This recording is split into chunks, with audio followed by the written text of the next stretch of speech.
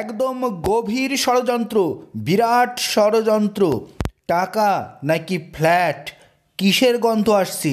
কিসের বিনিময়ে এই ঘটনা ঘটালেন বিচারপতি? অভিষেক বন্দ্যোপাধ্যায়ের নাম করেই আরও দু দুজন বিচারপতিকে কুপ্রস্তাব। অভিষেক বন্দ্যোপাধ্যায় রাজনৈতিক ভবিষ্যৎ উজ্জ্বল। তার বিরুদ্ধে জেনে শুনে পদক্ষেপ করতে হবে। তার বিরুদ্ধে গুরুতর কোনো পদক্ষেপ করা যাবে না আমাদের। ঠিক এইভাবেই তার নিজের চেম্বারে ডেকে নিয়েছিলেন। এমনকি সমস্ত শুনানির লাইভ স্ট্রিমিংও করা যাবে না। তেমনটাও কিন্তু বলতে চেয়েছিলেন, যেখানে কলকাতা হাইকোর্টের প্রধান বিচারপতি রয়েছে, কলকাতা হাইকোর্টের রেজিস্ট্রার জেনারেল রয়েছে, মুখ্য রেজিস্ট্রার জেনারেল এবং প্রধান বিচারপতির নির্দেশে এই কলকাতা হাইকোর্টের যাবতীয় বিচার প্রক্রিয়া চলে। রেজিস্ট্রার জেনারেল যেমন বিচার প্রক্রিয়ায় বিভিন্ন বিষয়টি দেখভাল করেন, তেমন প্রধান বিচারপতি বাকি বিচারপতিদের সহযোগে কলকাতা হাইকোর্টে বিচার ব্যবস্থা পরিচালনা করেন। তার নির্দেশই শেষ কথা।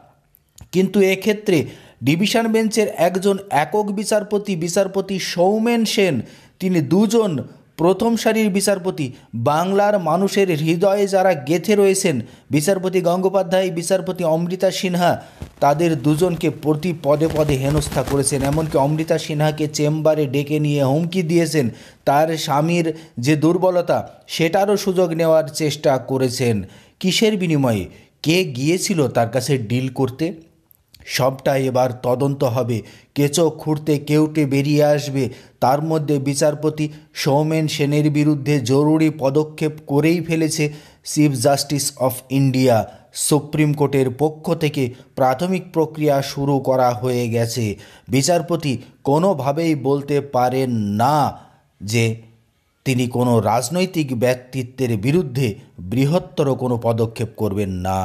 এর আগে সুপ্রিম কোর্টের বিচারপতি দীপক মিশ্র সুপ্রিম কোর্টের প্রধান বিচারপতি ছিলেন, তার সময়েও কিন্তু এই ইমপিচমেন্ট পদ্ধতি চালু হয়েছিল। সুপ্রিম কোর্টের প্রধান বিচারপতি দীপক মিশ্র সেই সময় আইন ব্যবস্থা, বিচার ব্যবস্থার মধ্যে পার্থক্য তৈরি করে ফেলেছিলেন। কোনো এক ধরনের লেভেলের মানুষের সুবিধা করে দেওয়ার জন্য তার বিরুদ্ধে সেই সময় ইমপিচমেন্ট আনা হয়েছিল। এবারও কি বিশেষ কোনো রাজনৈতিক ব্যক্তির নাম করে সুবিধা পাইয়ে দেওয়ার জন্য সেই ইমপিচমেন্টের খাড়া পড়তে চলেছে বিচারপতি সৌমেন সেনের ঘাড়ে? কিসের বিনিময়ে? কত টাকা? নাকি কটা ফ্ল্যাট? কিসের বিনিময়ে তিনি এটা করলেন? নাকি তিনি স্বভাবসিদ্ধ ভঙ্গিতে সচরাচর এই কথাটা বলে দিয়েছিলেন। যেহেতু বিচারপতি গঙ্গোপাধ্যায় মিডিয়ার সামনে এই কথা বলেছেন, আর আমরা সেই কথাটাই ধরে নিচ্ছি, বিচারপতি গঙ্গোপাধ্যায়ের কথাটা। আর তার সঙ্গে ডিল করতেই বা কে গিয়েছিলেন? সম্প্রতি কলকাতা হাইকোর্টে তৃণমূলের এক ব্যক্তিকে বারবার আনাগোনা করতে দেখা গিয়েছে, তাই সন্দেহ হচ্ছে তিনিই কি তার নেপথ্যে রয়েছেন? এই প্রশ্ন যখন উঠছে, তখন কলকাতা হাইকোর্টের এই বর্তমান পরিস্থিতিতে বাংলার মানুষের মনে কিন্তু আরও শঙ্কা তৈরি হয়েছে।